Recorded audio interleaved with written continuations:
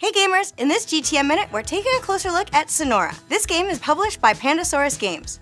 Sonora is a game for 2 to 4 players, ages 10 and up, and lasts around 30 to 45 minutes. Now let's take a look at the game components. Meet the first Flick and Write game. Technicolor sunsets pop out over vistas revealing deep canyons, trickling tributaries, and ancient Pueblo cliff dwellings. Immerse yourself in the secrets of the desert in this delectably fun Flick and Write game in which cunning and dexterity meet.